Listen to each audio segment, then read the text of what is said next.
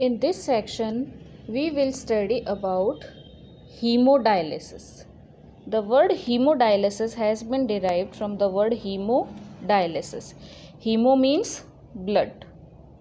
Dialysis means artificially removing the impurities. So, when our natural kidney is not able to remove all the impurities from the blood then these impurities can be removed with the help of machine and the process is dialysis. And since directly the nitrogenous waste or impurities are removed from the blood so it is known as hemodialysis. During the abnormality of kidney kidney is not working properly kidney is not working properly. So kidney जब properly काम नहीं करेगी तो हमारे blood में urea का content increase हो जाएगा। किडनी का मेन फ़ंक्शन होता है ब्लड से नाइट्रोजनस वेस्ट यूरिया को रिमूव करना। अगर किडनी अपना काम प्रॉपरली नहीं कर पाएगी then this content of urea will be increase in the blood and this condition is known as uremia condition is called uremia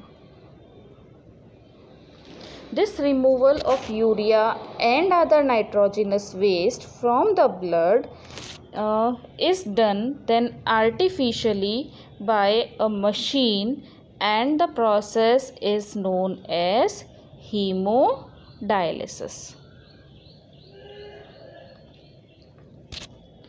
This hemodialysis works on the principle of simple diffusion.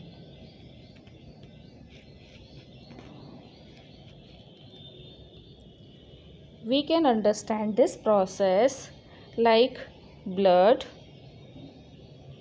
contains urea creatine hippuric acid nitrogenous waste and many other excretory substance which needs to be eliminated.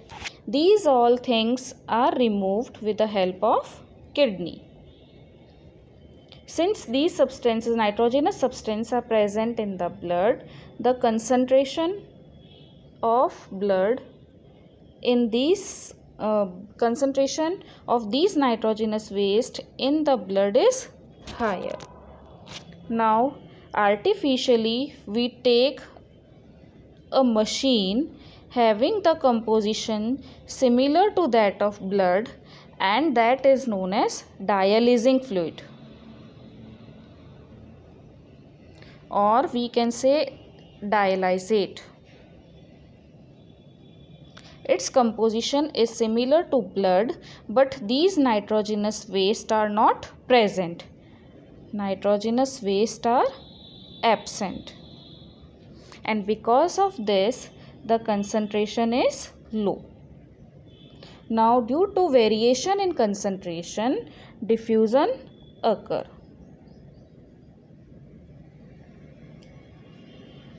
And these nitrogenous waste are transferred to the dialysing fluid. इसको ऐसे समझ सकते हैं, हमारे blood में nitrogenous waste urea creatine hippuric acid और बहुत सारे नाइट्रोजनस वेस्ट होते हैं। इनके कारण हमारे ब्लड में इनकी कंसंट्रेशन ज़्यादा होती है। हम इस ब्लड को जब किडनी प्रॉपरली वर्क नहीं कर पाती है तो डायलाइजिंग मशीन में ट्रांसफ़र करते हैं, जिसमें एक फ्लूइड भरा हुआ रहता है, जिसे डायलाइजेट बोला जाता है या डायलाइजिंग फ्लूइड बोला जाता है, और इसमें नाइट्रोजिनस वेस्ट नहीं होते हैं ऑन रिमेनिंग कंसनट्रेशन बिल्कुल ब्लड की तरह होती है। इसके कारण से डिफ्यूज़न होता है और ये नाइट्रोजिनस वेस्ट हाई कंसंट्रेशन से लो कंसंट्रेशन की तरफ़ मूव करते हैं। ये इस हीमोडायलिसिस का प्रिंसिपल होता है। अब इसकी जो वर्किंग होती है इसको समझने के लिए हम ऐसे समझ सकते हैं। सबसे पहले जो ब्लड रीनल आर्टरी लेकर आती है this blood passed uh, through a pump where temperature is very low approximately 0 to 5 degree इस लो टेम्परेचर के बाद में ये जो ब्लड होता है ये हम रीनल आर्टरी से निकालते हैं। रीनल आर्टरी से निकालने के बाद हमने इस ब्लड को एक पंप में पास किया, जिसका टेम्परेचर बॉडी टेम्परेचर से बहुत बहुत कम होता है ज़ीरो टू फाइव डिग्री होता है।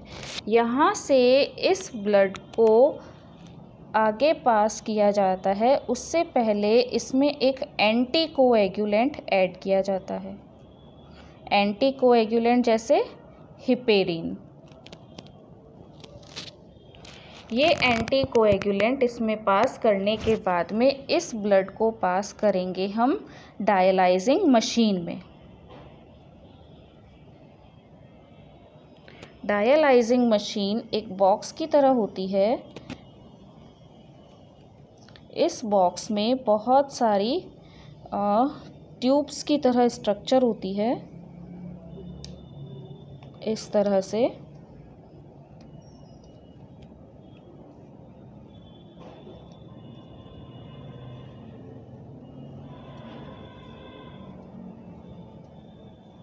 यहाँ पर ये सारी ट्यूब्स आपस में इंटरकनेक्टेड होती है and here is inlet, here outlet. यहाँ पर चारों तरफ़ डायलाइजिंग फ्लूड भरा हुआ होता है। अब जब ये ब्लड यहाँ से इन मेम्ब्रेन्स के में पास होता है, ये जो मेम्ब्रेन है, ये ये जो ट्यूब्स है, इनकी जो मेम्ब्रेन है, ये सेलोफेन मेम्ब्रेन की बनी होती है।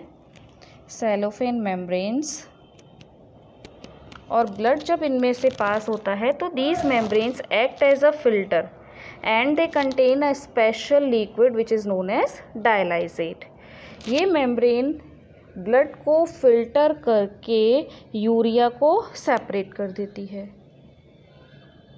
इनका जो कंपोजिशन होता है, वो बिल्कुल ब्लड की तरह होता है, बस इसमें नाइट्रोजनस वेस्ट नहीं होता है। तो आने वाले ब्लड की कंसंट्रेशन हाई डायलाइजिंग फ्लूड की कंसनट्रेशन लो होती है। इसके कारण सिंपल डिफ्यूज़न होता है और इस डिफ्यूज्ड जो डायलाइजेट फ्लूड होता है, ऐसा फ्लूड जिसमें ये नाइट्रोजनस वेस्ट डिफ्यूज़ हो चुके हैं, वो यहाँ एग्ज़िट से या आउटलेट से बाहर निकलते रहते हैं। अब ये होने के बाद में जो ब्लड प्योरीफाइड हो जाता है, जिसमें से ये नाइट्रोजनस वेस्ट डिफ्यूज़ हो गए, वो कलेक्ट होकर अगेन एक वार्मर से पास होता है, जहाँ इस ब्लड को वापस बॉडी टेम्परेचर से इक्वलेंट किया जाता है। एंड देन उसमें anticoagulant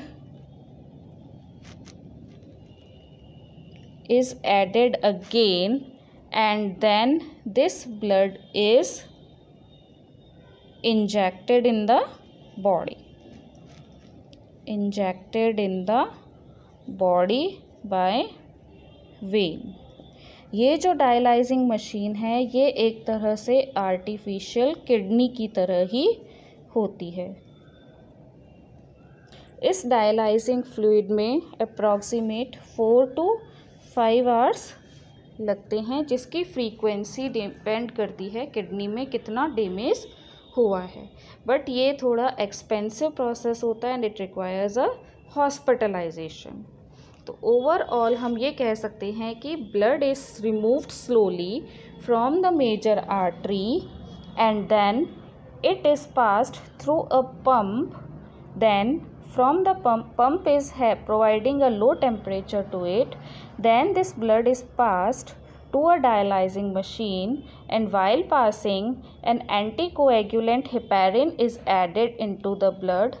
This dialyzing machine is made of series of cellophane membranes which act as a filter and a special liquid which is known as dialysate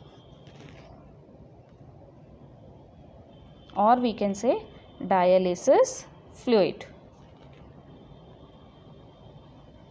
The membrane filters the waste product which include urea and pass it to the dialysate fluid.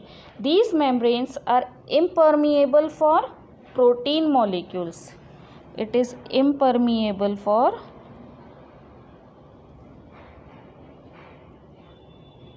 protein molecules but permeable for urea, uric acid, creatine, mineral ions.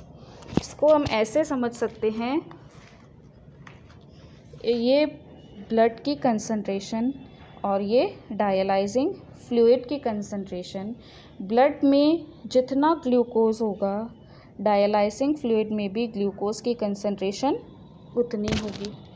Blood में जितने sodium ion उतनी ही dialysing fluid में sodium ion की concentration जितने chloride ion, उतनी ही chloride ion dialysing fluid में होंगी।